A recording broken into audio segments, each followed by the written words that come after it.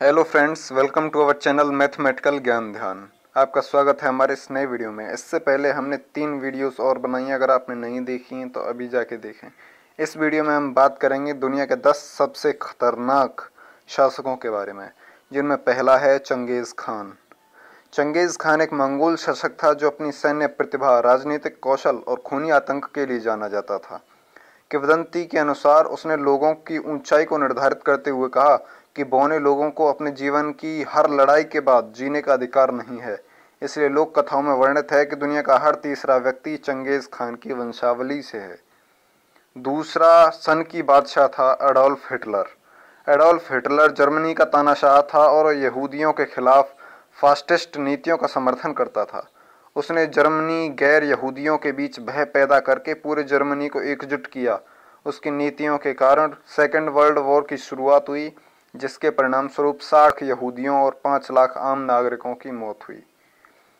Third है Vlad टेपस मानव इतिहास उसे क्रूर दंड देने वाले के रूप में याद करता है, क्योंकि वह लोगों की आंतें निकलवा देता था और उनके चेहरे को क्षत विक्षत कर देता था। ऐसा कहा जाता है कि मानव इतिहास में क्रूरता की पराकाष्ठा तब हुई जब उसने अपनी राजधानी के बाहर बीस हज़ार पुरुष, महिला और बच्चों की चमड़ी उधरवा दी थी। उसने पानी में उबलने के लिए छोड़ दिया था, उनका सिर काट दिया था, उन्हें अंधा बना दिया था, गला दबा दिया था, उन्हें फांसी पर चढ़ा दिया था, उन्हें ज़िंदा जला दिया था, उन्हें आग में भून दिया था, उनके शरीर पर कील ठोक दी थी और उन्हें ज़िंदा दफन कर दिया था। अगला है राजा फेरौन। राजा फेरौन मिश्र का स्वार्थी, अभिमानी और कुख्यात तानाशाह था। वह खुद को ही भगवान मानता था और लोगों को खुद पर विश्वास करने और उसे भगवान के रूप में पूजा करने के लिए मजबूर करता था। जो लोग उसे नकारते थे, उन्हें वह बहुत खतरनाक और भयानक दंड देता था। दंत कथाओं के अनुसार, उसकी मृत्यु के बाद किसी भी भूमि या आग ने उसकी आखिरी क्रियाक्रम को स्वीकार नहीं किया और परिणाम स्वरूप उसका मृत शरीर अभी भी संग्रहालय में रखा हुआ है, जिसे आप अपनी स्क्रीन पर देख सकते हैं। उसके मृत शरीर के बारे में दिलचस्प तथ्य है कि उसका वज़न आज भी बढ़ रहा है और उसका शरीर अभी तक खराब नहीं हुआ है। नेक्स्ट है जोसेफ स्टालिन। जोसेफ स्टालिन को मानव इतिहास के सबसे खतरनाक और क्रूर शासकों में से एक माना जाता है, क्योंकि वह अन्य किसी तानाशाह की तुलना में अधिक राजनीतिक शक्ति का प्रयोग करता था। वह अपने 29 साल के शासन के दौरान 20 लाख से अधिक नागरिकों की मौत के लिए जिम्मेदार था। आगे आते हैं एटिला दहुन एटिला दहुन को इतिहास में बुरी शासकों में से एक कहा जाता है। उसके अंतिम आक्रमण को खूनी युद्ध के रूप में याद किया जाता है। क्योंकि उसने गाल के ग्रामीण इलाकों पर हमला किया, जिसमें पूरे गाँव के लोग मारे गए। वह जहाँ भी हमला करता था, वहाँ किसी एक व्यक्ति को भी ज़िंदा नहीं छोड़ता था।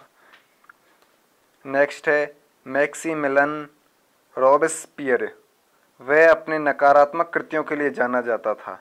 वह कभी भी लोगों पर भरोसा नहीं करता था और जाँच पड़ताल किए बिना किसी भी संदिग्ध व्यक्ति का सिर काट देता था। उसने सत्ता हासिल करने के लिए लगभग 50 लाख लोगों का सर काट दिया था। आगे आते हैं बेल्जियम किंग लियोपोल्ड सेकंड। यह बेल्जियम का राजा था और उसने स्वतंत्र कांगो राज्य में क्रूर शोषण के लिए जाना जाता था। क्योंकि उसकी बेगारी की नीति के कारण कांगो में 30 लाख से ज़्यादा लोगों की मौत हुई थी। आगे आते हैं मैसेडॉन किंग एलेक्जेंडर थ्री। उसने अपने शासनकाल के अधिकतर समय सैन्य अभियानों के माध्यम से एशिया से उत्तर पश्चिम अफ्रीका तक साम्राज्य विस्तार में व्यतीत किया। ऐसा माना जाता है कि वह बेहद महत्वाकांक्षा व्यक्ति था, जिसके कारण उसने युद्ध क्षेत्र में अपना पूरा जीवन व्यतीत किया था।